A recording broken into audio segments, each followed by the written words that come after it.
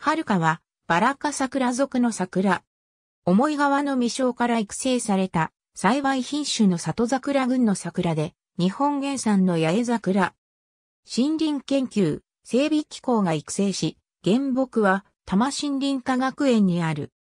多摩森林科学園の遥かの原木フラワーリング遥か、オリジナルツリー多摩森林科学園で育成された里桜の一つ。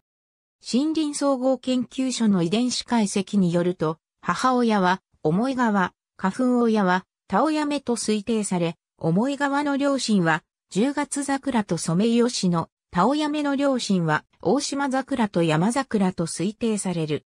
さらに10月桜の両親は、豆桜と江戸彼岸、ソメイヨシノの両親は、江戸彼岸と大島桜である。このため、遥かは、遺伝的には、豆桜江戸彼岸、大島桜山桜の4種の野生種が関与していることになる。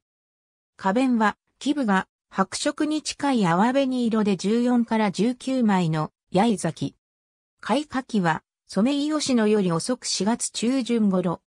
2013年に放送された NHK の大河ドラマ、八重の桜にちなみ、福島県では八重桜を復興へのシンボルとしている。このため、森林総合研究所が育成した桜、遥かが福島県に寄贈され、大河ドラマ主演の綾瀬遥かにより、遥かと名付けられた。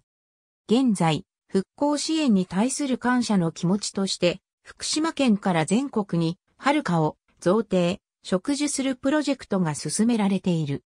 種苗法に基づく品種登録出願も行われており、また農林水産省本省の正面にもこのはるかが植えられ展示されている。